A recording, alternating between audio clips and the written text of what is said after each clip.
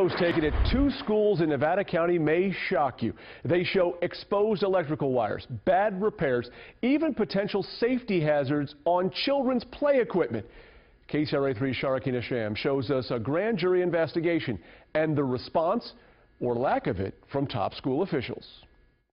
Pictures taken by a grand jury show rot on a foundation, mold repairs not done right, exposed electrical wire, flammable chemicals in an open cabinet with no warning posted.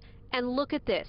That's an electrical box sitting on top of a children's playground. It's uh, highly dangerous, and I wouldn't want my kid around it either. It's criminal. It's absolutely criminal. I don't like it at all. I think our school should be clean. I think it should be mold free. Some of these pictures were taken at Grass Valley Charter School, others at Bell Hill Academy. Both are part of the Grass Valley School District, which is overseen by the Nevada County Superintendent of Schools. The grand jury calls them, quote, hazardous conditions and dangerous health and safety issues. The school district refused to comment, saying officials haven't had a chance to review the report.